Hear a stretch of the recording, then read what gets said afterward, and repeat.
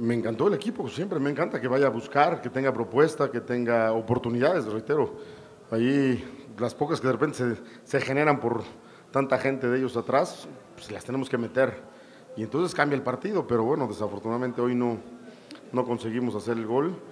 Nosotros tenemos que, tenemos que tener la capacidad de, de ganar los partidos y tenemos las oportunidades, tenemos, las tenemos ahí, desafortunadamente no las metimos, ¿no? Y desafortunadamente eso hace que un partido que propones para ganar no se pueda ganar, ¿no? Hay partidos donde hacemos muchos goles, hay otros donde no, no cae la pelota, donde la pelota no quiere entrar.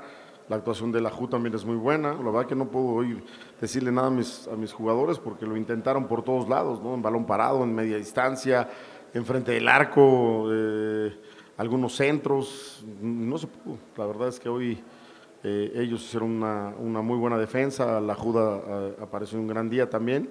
Y nosotros las que tuvimos ahí las, las desperdiciamos. Si vienes de hacer cinco goles en un partido y hoy pues, desafortunadamente las que tuviste no, las, no, no te salieron a los costados y las que salían bien colocadas, la HUD la saca, bueno, pues también cuenta el rival, lo hemos dicho, ¿no? Hoy no puedo preocuparme porque en un partido la figura del, del equipo rival es el arquero, y nos saca pelotas muy buenas y tapa una jugada mano a mano con Henry y, y no podemos concretar. Y la última se veía hasta que le iba soplando a la pelota para que saliera en el remate de Cecilio, entonces pues si de repente pasa eso, tampoco me puedo frustrar. No venimos de hacer, reitero, cinco goles.